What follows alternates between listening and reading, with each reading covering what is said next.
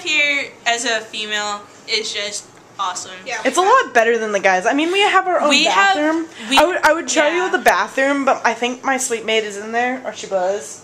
So and she was in a towel, so I don't think anyone would really appreciate that. Our dorms are like suites in a hotel. You've got one room, a bathroom connected to another bathroom. room.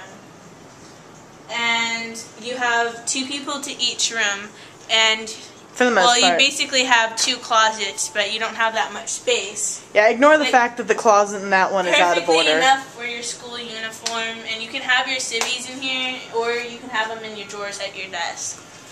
My drawers are actually neat for once. Well, sort of. Well, yeah, Katie's room has a lot more decorations than mine, mine does. My room is awesome. Dude, Yeah, look at this the is my door of like awesomeness. I mean, everybody wants a cannibal cake. I mean, seriously.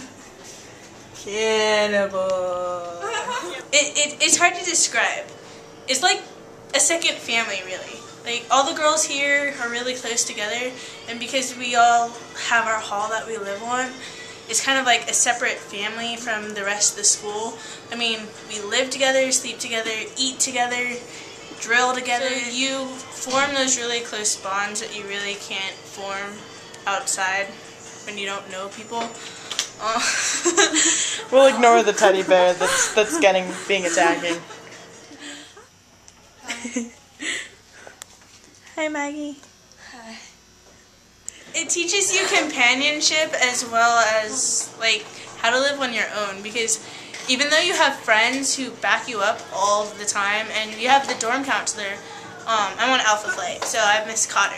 She's the best. Yeah. Yeah, it teaches you how to really live on your own. Because though you have friends that back you up and you have your roommate and you have Miss Cotter, you really have to take your time and take your stuff and learn how to keep it organized and clean. And you have to get up every morning, make your be- own bed, clean your room. So yeah, what uh, kinds of stuff do you do every day? Um, personally, me when I'm when I'm in my room, I change into back into civvies out of the uniform. Great to get out of uniform. um, I usually sit in my, at my desk and I read, do homework, or I do bead. I knit, and I also Yeah, make necklaces and bracelets, or I talk on my phone. You sound much more productive than I am, that's for sure. Some Yeah. of us hug teddy bear. Teddy bear stealer. I love this girl's shoes. Like, I'm not even kidding. She's seriously gonna steal all of my shoes, and that's my favorite pair too. See, this is what we do at night. Katie comes in the room. Hey, Valerie, I'm gonna steal your shoes. seriously, almost every other night. Puppy. You're your puppy. Oh, I don't have to camera you if you don't want me to. Okay.